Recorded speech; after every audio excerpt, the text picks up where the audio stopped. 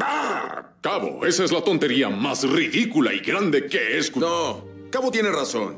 Nos vamos del zoológico porque le tengo miedo a las inyecciones. La verdad, eso sospeché.